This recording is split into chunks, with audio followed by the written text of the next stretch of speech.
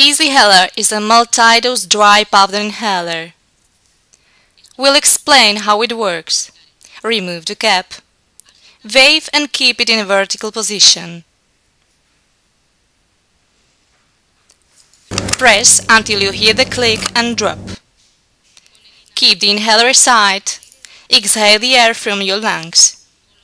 Place it between the lips and inhale fast and deeply.